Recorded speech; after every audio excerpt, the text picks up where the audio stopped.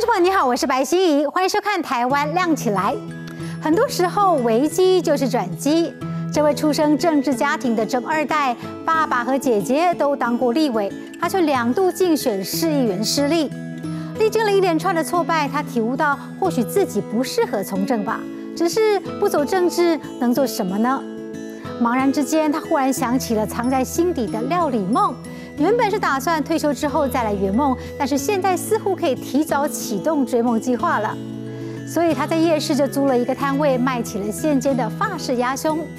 许多政治圈看着他长大的长辈都很舍不得，认为一个台大毕业的高材生怎么跑去摆路边摊呢？都说要帮他开一家法式的高档餐厅。长辈们的好意他都婉拒了，因为他真的很喜欢在路边做料理的自在，也真的很喜欢和顾客聊天的轻松。尤其看到客人吃到美食满足的表情，这种单纯的感动是他在政坛里头从来都没有体会过的。此外，做路边摊也算是选民服务的一种方式，而且更直接，效果还能马上看见。我们一块来看看谢贤的故事。这一道料理最难也最重要的部分，就是整块肉到核心都要热的，哎，可是哈不能让它熟掉。那梅果酱哈在法式摆盘的时候刷另外一道，在这里是直接加进去哈，因为没有办法法式摆盘。没有想过哎，因为平常都是会在餐厅，就是铁板料理那边才会有那种白酒啊，然后火焰这样子很漂亮那种，没有想过路边摊也会有卖鸭胸这样子。盛装打扮全免了，公车站牌前直接开动，不用高级餐具，这盘法式鸭胸一根竹签就能解决。吃起来感我觉得不输餐厅，而且它油脂有特别消过，所以吃起来不会太油腻，不会吃起来不会腻口。然后熟度煎的刚刚好，我会用剪刀直接把特别厚的油脂给直接剪掉，因为这个台湾鸭哈养太肥了，脂肪再留那么厚下来哈就会腻。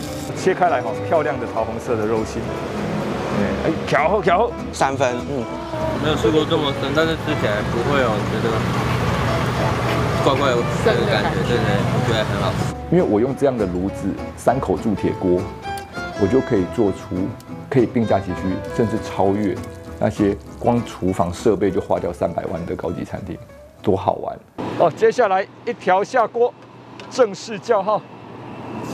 哦，五之一哦，也中了。两年多前租下这里，原本想卖咖喱的谢贤，发现观光区习惯边走边吃，不能吃饱要吃巧。他端出最有自信的排餐，而且只卖单一品相。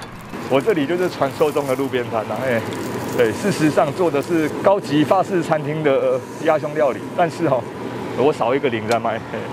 路边摊跟高档餐厅摆在一起，同样信心满满。许多试货的老饕直接变忠实粉丝。啊，我一年几乎来个三四次啊。哦，那我至少应该有吃个四五次。哇，就春夏秋冬每一季都要来。带朋友来。第一次吃。真的？真的，是真的。他是需要介绍的。没问题，没问题。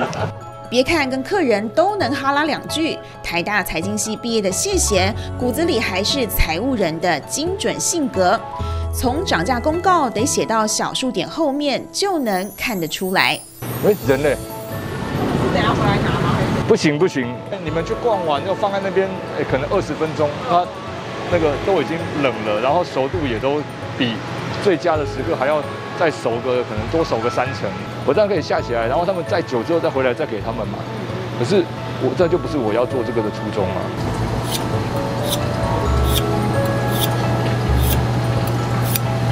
踩着木屐一边磨刀，在一平大的摊位上，谢贤看起来很自在。有的人觉得这张脸有点面熟，应该是在这里看过他。卢秀燕道歉，卢秀燕道歉，卢秀燕，卢秀燕，卢秀燕道歉，道歉，道歉。爸爸跟姐姐谢欣妮都当过立法委员，谢贤从大学就参与公共事务，当过多年的政治幕僚，也两度被推上目前参选。这是很贵的纪念品啊！怎么说？因为选举很花钱，超贵。那选举跟现在你看比起来，那看起来你看那么久，那么久了，就看起来比我现在还老。选举我要装老啊，那多辛苦！文宣上的西装油头跟现在的轻松打扮有很大的落差。因为姐姐的选区，谢贤曾经在台中住了十年。二零一八年九合一大选，竞逐大理雾峰议员再次失利，他决定回到故乡台南。是挫败没有错啦，对，是挫败没有错。我本身一些特质在政治，尤其是选举的这个部分，并不是那么适合。很多时候那种很粗浅、很浮面的那一种。嗯，可我们讲讲一个秀好了，在那一种层次的话，对我是不利的。原来谢贤得要碰到他喜欢的主题，才能开启话匣子，甚至有点社交恐惧。我是到三十几岁做自评，成人的自评量表，才知道自己是蛮严重的 ADHD 啊，过动症啊，对啊。呃，在此之前，我一路长大，一直都不知道我自己这一点跟人家别人不一样。对，然后另外一个就是，我觉得是真的是工匠的性格。我没有喜，我没有特别喜欢跟人去互动。真的？对我，我很在乎的是怎么样把一个东西做好。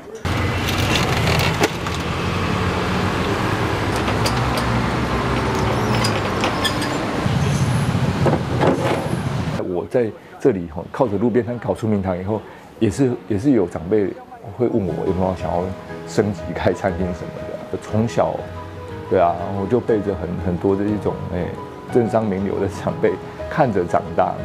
我就说，如果我在开一间高级料理的餐厅，我连来的客人哦，啊都是这些人的话，那有一点生命有点太狭窄了，对，要谋艺术啊。我没有不喜欢你们，可是我的生命里面不可以只有你们。谢贤笑说：“会有今天的厨艺，多亏家境不错，让他从国中开始就能用高档食材自学料理。”但他想撕掉种种标签立下的人设。我以前在台中选举的时候，他们就说：“你看像这个哈，而且政敌世家哈，我会呆呆加优秀哈，精英哈。”然后后面一句：“没了解烂逼战的诉求。”现在我只要路边摊还活着一天，就是打这一种人的脸一天。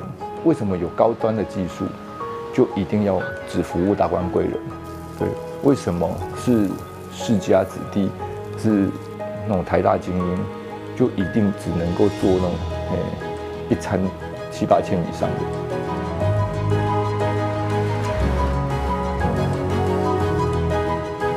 那如果也要拍照，从这边拍哦，然后用慢动作录影哦，可以拍出浮夸的影片，比较好发文，因为他知道什么角度，他已经都知道，他这个灯光也感觉都已经有架好了。对对对，谁过哎，就是过来这边拍会很好看，因为很多感觉很多顾客来第一次来。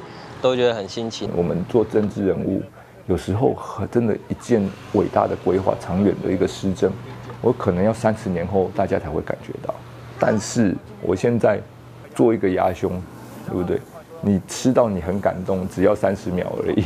他们吃下去，我看那个他们的表情，我说这就是我的，我不开高级餐厅的最重要一个理由之一，就是我现在在这边，我可以马上看到你们幸福的样子。那我们都是练自己的身形。然后练一个中中心。谢贤自嘲的说：“还有什么比愿意把当中医师的女儿嫁给做路边摊的更有勇气的事？”就像我跟就是病人聊天啊，他们就说：“哎啊，你老公在做什么？”我说：“哎，这路边搭啊。”他们都以为我在开玩笑。对啊，我说真的啦。对啊，对啊。没有可能，大家的接受度会觉得很奇怪，为什么就是医生不是嫁医生，而是嫁给一个就是做路边摊的？不过我是觉得职业这种东西，开心然后赚到钱就好了。我觉得对于公众的理想，什么都还会一直在啦。没有下场打球，还是可以当个观众啊，对啊，还是可以当个球迷啊。看似挫败的转折，让退休后的料理梦提早实践，谢贤做回原本的自己。因为诚恳更舒服自在。我们很多的框架啦、人设啦、包袱啦，其实都是自己给自己的。勇敢跳脱，都有机会可以体验不一样的人生。看完了政治人物的转业，接下来要带您看的是艺人转行的故事。发展斜杠已经成为现代人一种丰富人生的追求。而艺人发展斜杠，你会想到什么呢？可能是开餐厅，或者是做烘焙。但是这个艺人，他的斜杠还真的超乎你的想象。他是歌手赖明伟，曾经在选秀节目拿下冠军的他，从小是在公庙长大的，十多年前，他从父亲手中接下公主的棒子，为敬重修家烧符念咒。赖明伟坦诚，一开始真的有偶像包袱，也觉得挺别扭的，还怕被人家认出来。但是现在他已经觉得很自在了，穿假脚拖来修家也不觉得有什么奇怪的。赖明伟说，过去常年站在舞台上，现在要走入人群。当然，他也没有忘情音乐，而是把庙里的传统阵头结合了摇滚乐、舞台剧、电影表演，希望用另一种的形式，让更多人可以认识台湾珍贵的文化资产。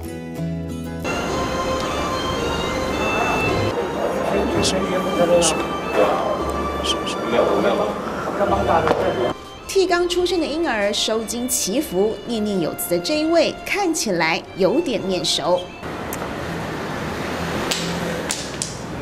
可以的，广德中王庙应先妃的 K 孙，哎，好，给他们两个做孙子好不好？没错，他就是赖明伟。许多人对他的印象是选秀节目比赛冠军，也是摇滚歌手。但他其实有另一个身份，是大溪广泽宫的公主。好，这个给他挂着。哦，哦，谢谢。还好不像你爸，真的蛮幽默的，就很好笑。你不会觉得有距离？真的，嗯，像，就是像比较像朋友之间那种相处，就是你不会觉得说，哎，他是艺人或什么都不会。就是公庙的这个服务的身份，所以我觉得我非常非常的自在。对我不会因为有什么。就是今天兰特意来找我，还是什么会有隔阂，还是说我必须要先化个妆，还是说我需要先换个衣服？不会，就我真就算穿穿个拖鞋，我也可以服务你。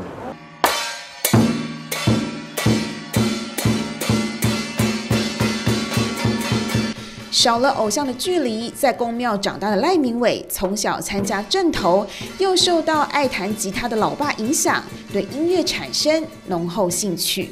在那个火车站的地下道当街头艺人，那个街头艺人还不需要考照的年代，我们就跟同学一人一把吉他，然后坐在地地下道，然后把盒子打开，然后当街头艺人，然后被路人介绍去民歌餐厅，然后才从开始从民歌餐厅一直唱到比赛。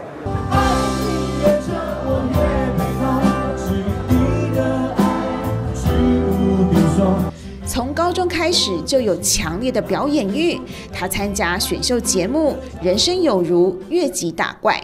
就从那之后，走在路上有人认识，然后就尝到什么叫爆红的滋味，开始有一些虚荣。怎么说？对，比如走在路上，人家会认识你嘛，然后想要跟你签名啊，想要跟你合照啊，啊啊，或者是说你会觉得说，哎，那我穿个拖鞋就不敢出去，你就开始有偶像包袱。平凡的生活有了巨大改变，没人教他怎么从素人当明星，光环是来得快，去得也快。刚比完赛拿了第一名的光环，那过了一段时间之后，啊江山代有才人出，下一届的冠军也出来了，然后又下下届，然后或是其他台的也有一样的一样的选秀节目也出来了，好，所以就变成是说你会在那个。位置上面找不到自己的一个立足点。登山归来，翻江过海，骆驼几许开。旅行万里，秋思好行，登上公马坎。一把吉他，一张板凳，赖明伟现在能够自由切换身份。二零一二年，他所组的神木雨桐团体合约期满，当兵前从爸爸手上接下公主位置，打理庙里大小事。万人拥戴的偶像以真实身份走入人群。而且当时我刚接任这个角色，其实那个时候的我还也还在演艺演艺工作人员哈，就是演演艺人的身份，然后跟长明的这个。就是宫庙公主的角色，也还在适应当中，所以一开始的我其实也不太像现在能够很直接的去应对群众，对，然后所以我也是在这长达十一年的时间，慢慢慢慢慢慢，这边有两尊已经碳化烧毁的神像，好，就是在二零一六年三月十九号那一天，我们烧毁的广德中王跟他的太太妙音仙妃的神像，所以我们留下这两尊神，然后把它放在这个玻璃框里面当做纪念，然后也警惕我们，就曾经发生过这个事情。现在所见的地方是后来重建的，演艺工作曾历经三年茫然。赖明伟接下公主没多久，二零一六年广泽宫大火，舅舅因此丧生，直接把他推入最黑暗的谷底。你当然会怀疑啊，说啊，我们拜拜神为什么没有保佑？他为什么这种事情没有闪过？然后再加上现在网络时代嘛，就大家都会喜欢批评。对啊啊，这个看啊火灾啊，他们一定是怎么样啦，骗财啦，所以那个时候其实对这件事情是充满了愤恨跟不平啊。所以那段时间，你只要听到那个消防车或救护车经过，你都会有那种身临其境的感觉，就是会有那种恐慌。因为我退伍回来是走兄弟路，所以说那时候我是在怀疑我自己，是不是因为我做过太多错事，老天不容我。因为火灾你都把东西烧掉，我们有钱再可以重买嘛。可是有人命哎，那时候我我跟明伟讲说。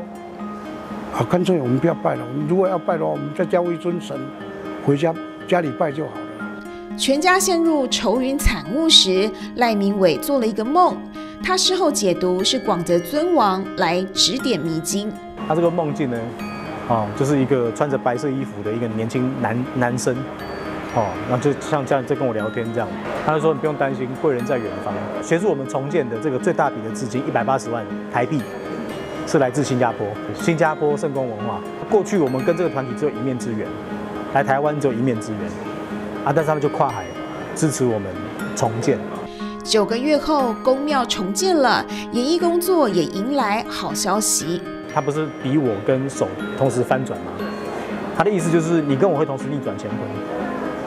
所以十二月三号王泽光落成，十二月二十九号我的台语专辑发行，隔年入围金曲奖。从高点到低潮，他不靠别人定义，要做独一无二的自己。我因为我冠军奖金已经花掉了，对对，所以不会有包袱，就是说他他只是一个曾经，哎，摇滚是我的态度，是我喜欢的事情，对我坚持在舞台上面这么久，那是我的态度。那公主是要走入人群的，所以摇滚公主就是三种人生嘛，信众、听众、观众。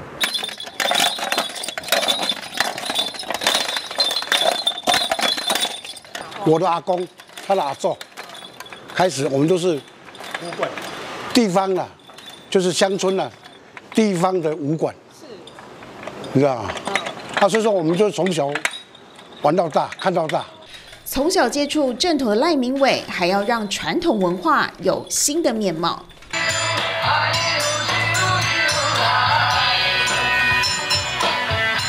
哦，传统的家将哦，就是可能要在庙口要放个鞭炮，然后要有很多锣鼓点，或者是说你把它转化成艺文展演的方式。哎，其实它一样保留它的传统基底，然后再就是让大家有新的体验。走一趟家将展，别忘了来个超酷的 pose，上传社群与亲友分享，要拍出更厉害的照片，偷偷教你这一招。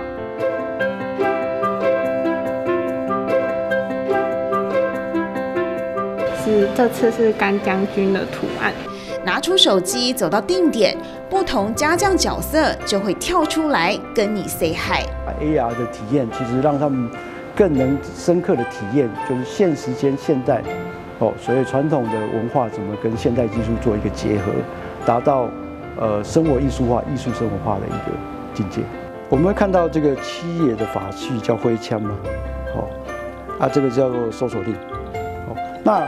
八爷其实值的是虎牌，哦，这叫居鼓令。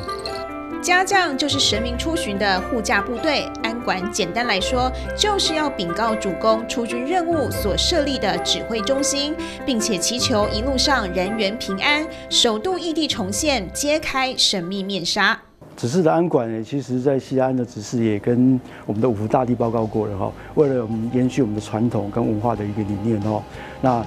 呃，希望大家无尽无际的在这边体验所有的安管的的整体意象。从历史严格到沉浸式体验，跳脱既有框架去认识民俗文化与神性合一的宗教组织。比如讲像八家将啦、十家将啦、关将秀啦、圣将啦、哦八将啦等等。那不管伊是何是什么名称，伊拢是归类伫将类。呃，就是即马咱所讲的警察大队。你伫要出庭进前，爱静心啦，吼啊，画面了后呢，袂使讲话，袂使食物件，所以伊是所谓这个台湾的顶头内底的禁忌上侪，规矩上介严格，吼，所以伊毋是什么芭蕉酒，你问个当作是一个什么不良帮派。化身 Q 版卡通，小朋友能够亲自彩绘与体验开脸，家将文化瞬间变得好粗逼。所以我们也实行了。向下扎根、向上延伸的一个理念哦。我们希望把这些传统的文化透过不同的演绎、不同的策展，然后教育给下一代，让他们怎么样正确的看待台湾的传统文化。家教文化是台湾特殊的美术工艺与舞蹈集大成，从摇滚乐到结合新科技，让下一代也能够认识珍贵的文化资产。都说为母则强，其实阿妈也是强者。这个阿妈年轻的时候，丈夫生病离世，还留下了大笔的债务。她一个人做四份工作，好不容易把四个孩子都养大，以为日子从此就要平顺好过了。但是老天爷给她的考验似乎是还没有结束，一场车祸把儿子、孙子两个人都带走了。原本她想这次她是真的没办法再撑了，但是回头再看看身边还有一个孙子要照顾，再怎么样也不能丢下孙子一个人吧。所以阿妈又把背挺直，振作起来，靠着包客家汤圆，祖孙俩相依为命。现在阿妈还有一个心愿，等到生意好了，要给喜欢做烘焙的乖孙买一台烤箱设备。也就是这些平淡的小幸福，平时的小心愿，安顿了受伤的灵魂。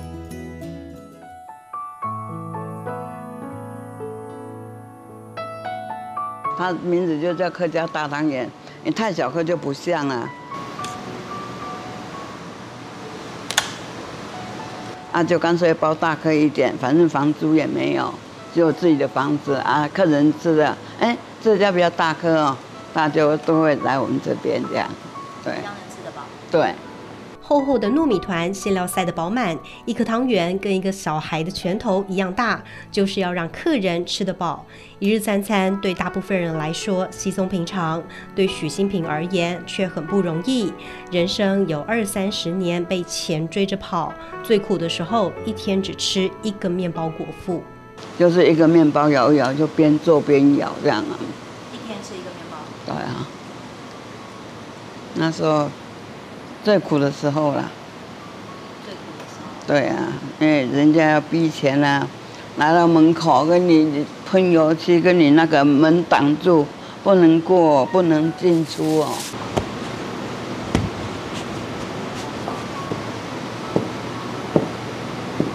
原本汉先生开便当店，生意很好，但当时两人不懂经营，又碰到了工地订单，没付钱就落跑。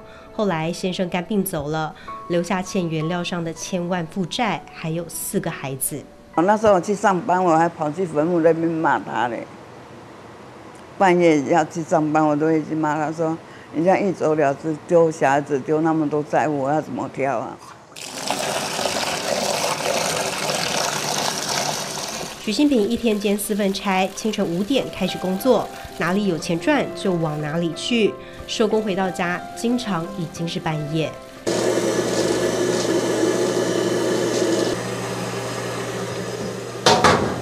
即便已经忙得团团转，钱还是不够用。还好孩子都很懂事，高中没毕业，全都去工作帮忙还债。许新平肩上的重担稍微减轻，几年后帮儿子开了汤圆店。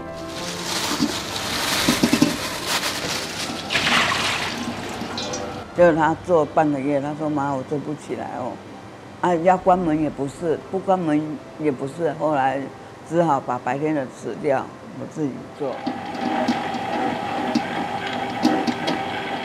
是也不想被人家看扁。对对对，就是一口气啦，就不愿意输了。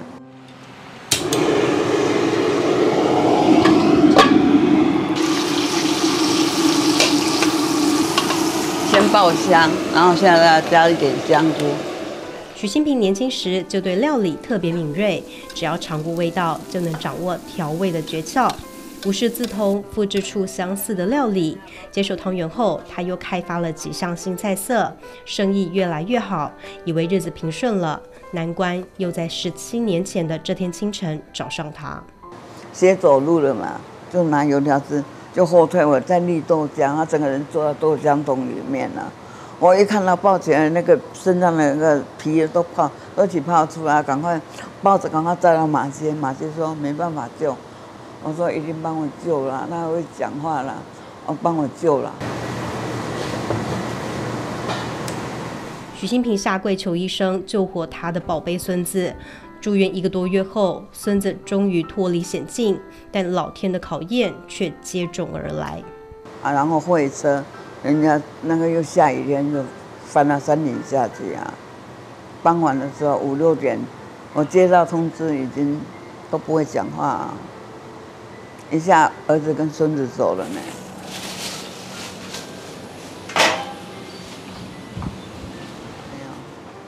那个停一阵子，不会做啊。想到手脚都软软的，怎么做？没办法做啊！一下子两个呢。我那儿子很乖很乖呢。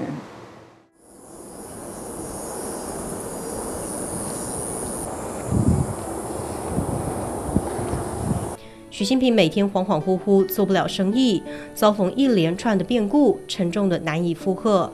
长达一年时间，他什么事都不想做，偶尔到菜园种菜、种瓜，还会得瓜，不会失望。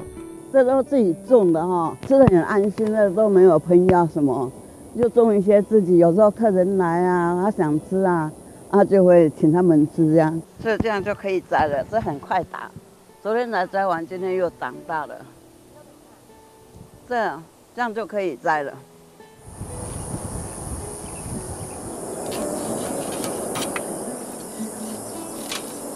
那你的菜都自己种？对啊。你有种什么？还有茄子，还有小黄瓜，也有西瓜。一度以为自己会这样一蹶不振，幸好骨子里还有好胜的因子。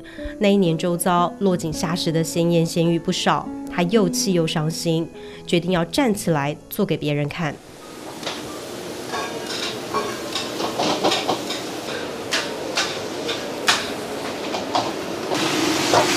好，翻一下就盖起来，给它煮一下下。汤圆店重新开张，当年烫伤的孙子，如今是许新平最好的帮手。比较粗重的快炒类、收桌、洗碗，全都一手包办。有一次还问他说：“你会不会恨老婆？”他说：“不会呀。”弟弟，嗯，他真的很孝顺。为什么？这没什么好埋怨的，这是我自己不小心。哦，全部端过去哈。你们点的小炒跟大肠。孙子从小就是许新平带大的，经历的苦，孙子看在眼里，疼在心里。祖孙俩是彼此最亲的家人。母亲节了，他就说：“阿婆，你可以给我叫一声妈妈吗？”我说：“不行，阿婆就是阿婆。”哦，好，不行就好了。从那时候他就没有再讲过的了。他就想到大家都在叫妈妈，啊，他没有叫过。过两天我们再来进买啊，哦，好吧。过两天我们再来去买啊。买回来就可以做啊。不管过去经历多少挫折难关，许新平的心愿很平实，要给热爱烘焙的孙子买烤箱设备。现在对他而言，有孙子的贴心陪伴，还有健康的身体能工作，就是幸福。苦尽甘来，他用人生刻画“应景”两个字。如果有企业愿意出资两千万要买下家传招牌，你卖还是不卖呢？桃园大溪这家百年的油饭老店，老板的答案是不卖。虽然当下店里歇业，还真的很需要这一笔钱。他拒绝的理由是，就算对方把招牌买过去好了，但是从清朝时期就传承的制作油饭古法，除了自家人，没有任何外人都能够坚守下来的。还好孝顺的儿子懂得老爸的坚持和固执，他辞掉了科技的工作，回家做油饭。一开始，科技人的想法就是要找出一些效率高的方法做事，例如在高温大锅前用手去拌油饭，又烫又费工。明明就有可以用机器取代铁砂掌，不是吗？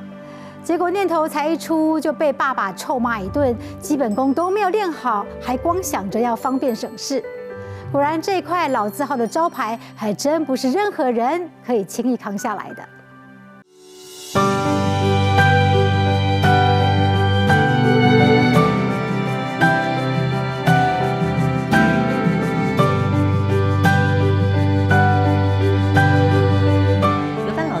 清朝就屹立桃园大溪，古色古香的招牌一挂就是一百五十多年。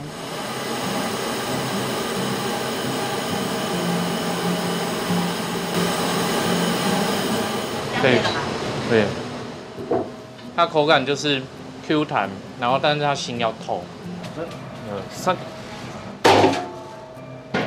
练了很久才练了很久。对啊，因为你距离没有测好，或者是踩的角度不好，很有可能你会跑出来。跑出去。四元有没有弄跑出来？有，吓死了。光是把蒸熟的糯米倒出来，都讲求角度、经验。游世元跟老爸学做油饭两年多，撞墙期没少过，现在已经能独当一面。但老爸还是不放心，拌炒油饭这个步骤每天都得亲自盯场。米蒸不熟啊。哎，你你这个是生的。这个啊，人人家说台台上一分钟啊，在台下哈十年功哦，不要看不要看都是小小蒸米动作。隔着手套这样来做饭，坦白说也是会很烫，也是会很烫的。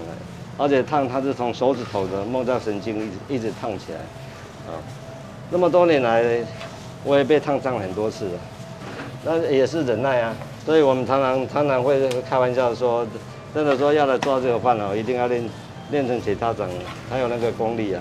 就算戴了一层棉纱手套，再加塑胶手套，刚蒸熟的米饭烫手，高温有八九十度，得一点一点用手均匀搓散开来，混合汤汁。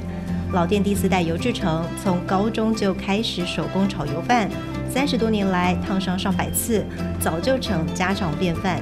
你如果太凉，尤其是冬天，我们动作还更快。冬天呢，它米蒸起来，它凉的比较快嘛。那比较快的话，它可能会结团。结团跟跟高汤都不没有那么快哈，它可以结合在一起。不能快也不能慢，速度凭经验。一人用长柄锅铲，一人用手翻炒，像在跳双人舞，让每一粒米饭都均匀沾到汤汁，还要确保没有结块。一锅三四十斤的油饭翻炒下来是大工程，也是最重要的步骤。就把一些没有均匀的另外抓出来。然后等下，另外那那那个再另外处理这样。就这一关是有办法在。对对对，在做最后的的品管，嗯，你就好比说，你如果一碗鱼饭里面，客人吃到那整团这样白白没有均匀的，有些会打枪啊。对呀，所以我我我们有我我们的对策的做法啊，就是要层层把关呐。曾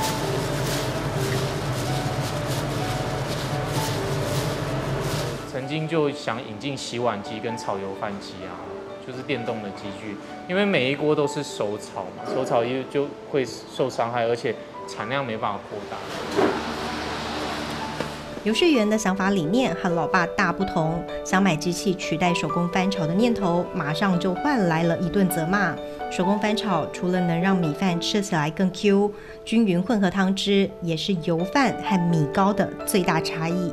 我们北部的做法就是用搅拌方式的，哦，不像不像台中，啊，台中的清水鱼饭呢，哦，它很出名，但是它的米糕它是米蒸好以后，那个档阿米锅下面就是放骨肉嘛，那白米都直，白饭都直接填上去，啊，然后放蒸笼保温就卖，啊，然后是它是米糕，是米糕，啊，你说它油饭不是，因为我们北部传统油饭都是要搅拌过嘛，高汤搅拌过嘛。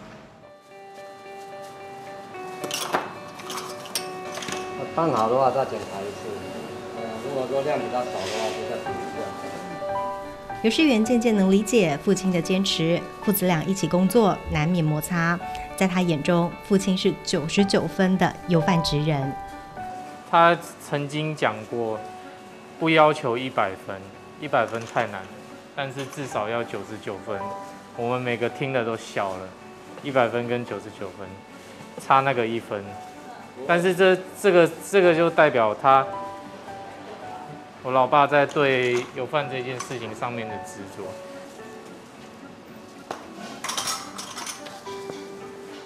呃，比如说这个油饭料好了，它会精细到一杯里面要几片肉跟几个香菇，是每一杯哦。所以他刚才在加料上是一杯一杯加，我会加到八十分、八十九分。我觉得它的量是一致的，整个大满一致，但是他就会骂啦，你在加料上面都那么潦草了，你怎么可以对这件事这么潦草，然后一杯一杯拿起来看。刚回来时每天被骂，餐饮业和过去在科技业大不同。三十岁职涯转弯，因为舍不得爸妈孤单。有套餐式的是一号餐是油饭配一个汤哈，汤的话七选一哈。那小菜有炒炒蔬菜的话，橱窗可以选。五年前，父母为了照顾生病的阿妈，决定将老店暂时歇业。阿妈离世之后，家里气氛低迷，有时缘不忍，留父母在大溪，自己在外地生活，毅然决然辞掉年薪两百万的工作，回家做油饭。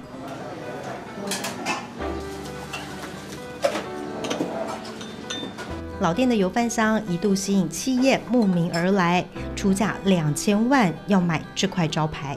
爸爸在经历这件事情之后，在经历家里一些变故嘛，就是奶奶过世，他才聊说，其实他还是认为这个牌子还是希望由我们自己的人来传承。我妈妈的做事的风格哈，是地方上出名的，啊，她要求蛮高的。她认为说，你做你做吃的啊，不能吃的，你不想吃的，一定不能拿出来。做吃的是一个良心事业，你不能做不新鲜的。啊，就拿出来给客人都不行。家传事业，千金不换，只为了妈妈耳提面命的品质，要靠自己人来坚守。更重要的是，这碗油饭承载着世代家人之间的情感。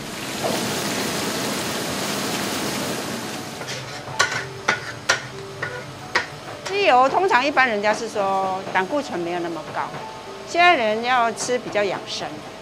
哎，所以它的油的量比较少，不用那么多，不像这样猪油那么多的量。它少少的油饭就口感就很润滑。我们客家面都很注重这个，这个等于是它的灵魂，哎，面的灵魂。刘世远的妈妈是客家人，将过去做油饭的猪油改成鸡油，还加了姜，让口感更加清爽。当时要说服用猪油做油饭，做了大半辈子的婆婆花了不少力气，所以我就带婆婆出去吃啊。我就说这有加味精的，你吃的怎样？她说哦，做脆呆呢。那吃我们自己的东西都不会不会口干舌燥，所以她就说嗯，那可以接受，也是要慢慢的让她让它去去融合现代人的养生呐。对，啊，油饭我们也不加，不加那个蒜头。以前我婆婆是用蒜头加味精，我现在就把它有稍微做改变了。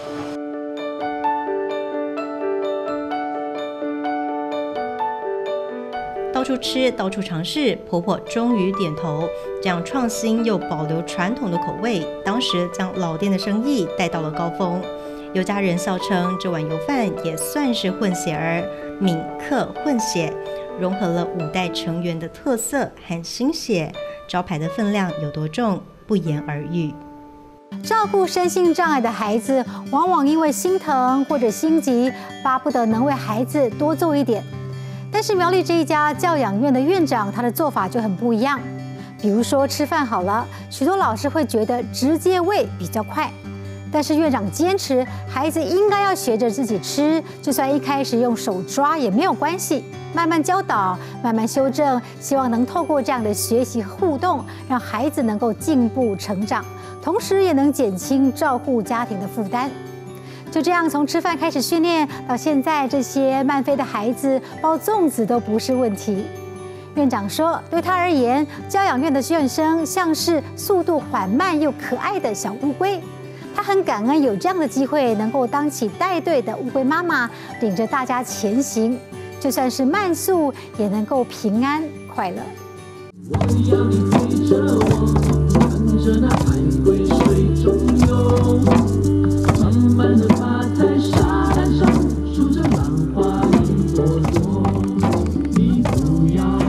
配最喜欢的歌曲，拍打鼓声伴奏。教养院老师在一旁提示：起初请专业讲师来教，后来由内部老师担起责任，节省支出。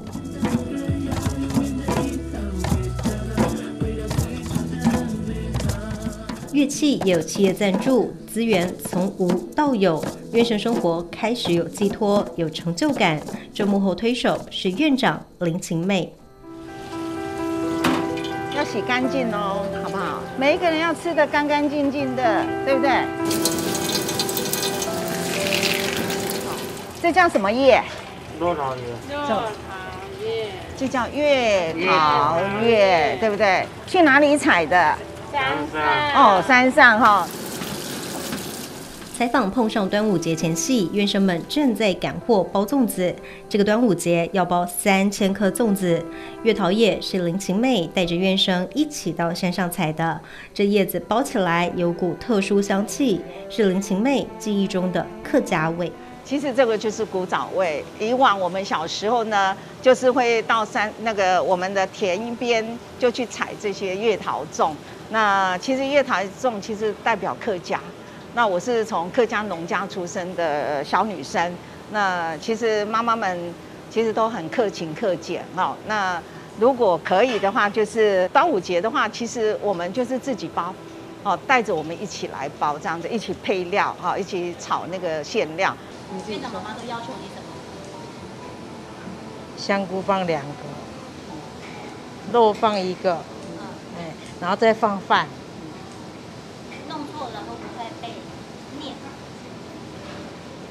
会。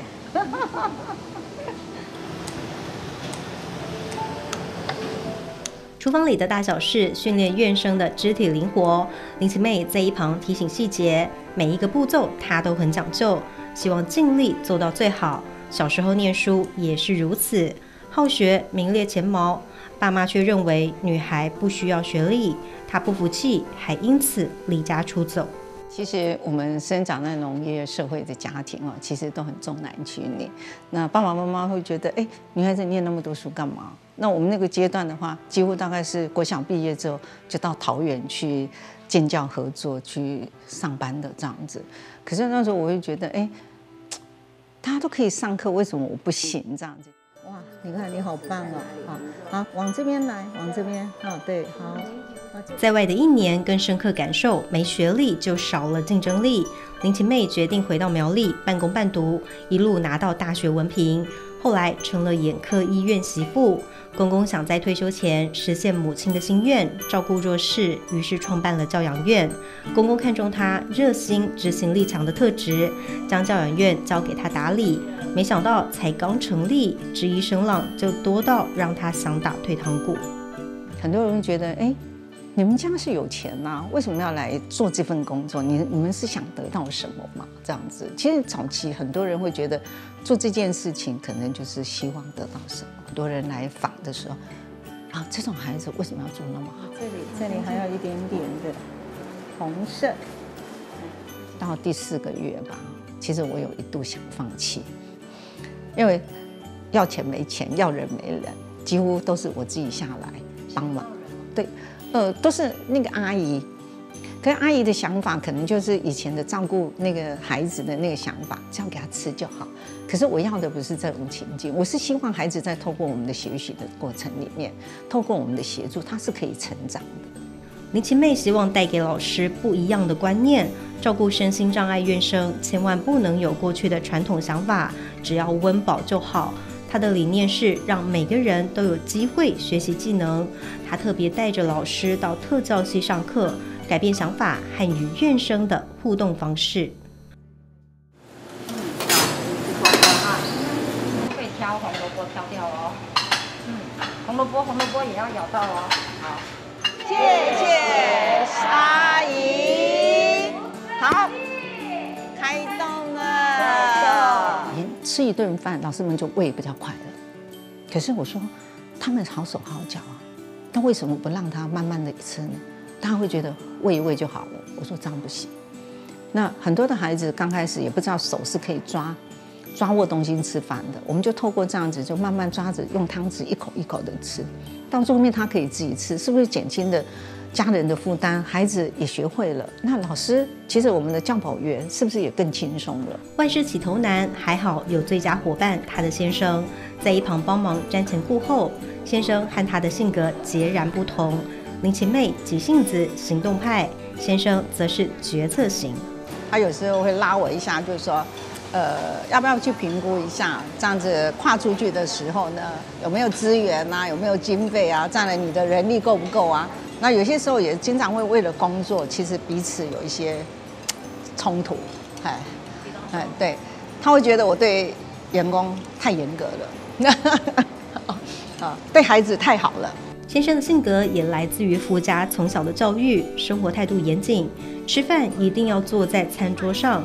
饭菜也要用餐盘装成的整齐干净，夫妻俩也希望把这样的习惯深化到院生的生活里。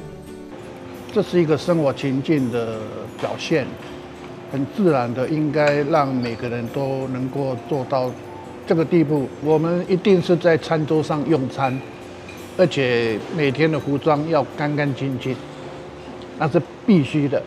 夫妻俩挺过质疑，克服困难，自助天助。这几年有更多的资源挹助，苗栗山城交通不便，院生家人无法每天接送，企业募集的专车就像是及时雨。也是透过了您的一票决定爱的力量这个活动呢，那所以台新这边呢也捐助了很多台的这个呃专车。那因为其实，在苗栗那边，那很多的这个服务对象的朋友家庭，他们的家人可能没有办法，就是可以接送他们，呃，可能外出或者是到这个教养院来对这边来。那因为有了台新的专车，那可能就可以解决他们这个交通上面的一个不便。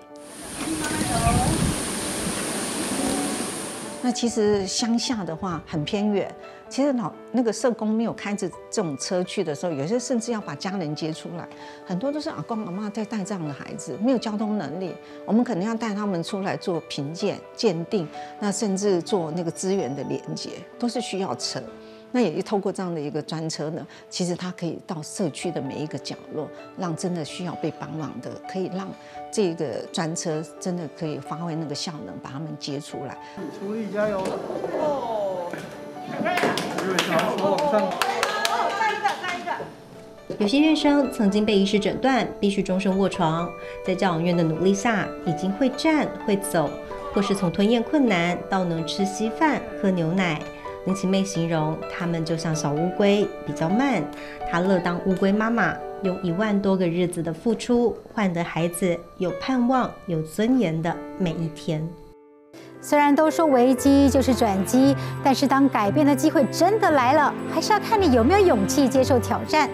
勇敢永远是化解危机的最大动力。感谢您的收看，我是白心怡，台湾亮起来，我们下次再见。